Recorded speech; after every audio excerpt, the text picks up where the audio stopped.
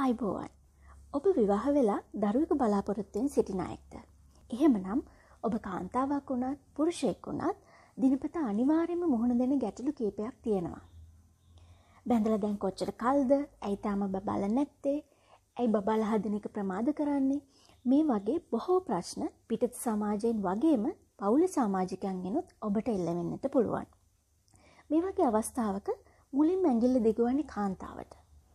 එහෙත් කාන්තාවගේ වගේම පුරුෂයාගේ පවත්නා වූ ප්‍රජනකේන්ද්‍රීන්ගේ ගැටලු ඒවගේම ආබාධ මානසික ගැටලු මේ වගේ තත්ත්වයන් නිසා දරුවන් ඇතිවීම ප්‍රමාද වන්නට පුළුවන්.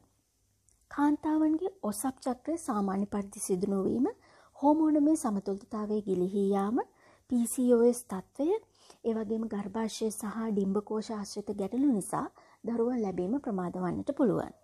ඒවගේම පුරුෂයාගේ ශුක්‍රාණුවල ගුණාත්මක භාවය අඩුවීම ශුක්‍රාණු ප්‍රමාණය අඩුවීම ආදිය නිසාත් දරුවන් ඇතිවීම ප්‍රමාද වන්නට පුළුවන්. ඉතින් දරුවන් නැති ගැටලුවෙන් පීඩා විඳින ඔබට මේ කියපු ගැටලු එකක් හෝ කීපයක් අනිවාර්යෙන්ම ඇති. ඉතින් තවත් ප්‍රමාද වන්නට එපා. අදම ක්ලියස්කින් සෙන්ටර්න් ස්ටෝහි පිහිටි ආයුෂා හර්බර්ස් ආයුවේද සායනයට පැමිණෙන්න. ශරීරයට හිත කර ශාකචාර මේ ප්‍රතිකාර අත්විඳ ඔබේ සිහින යථාර්ථයක් කර ගැනීමට අප සමඟ එක්ව.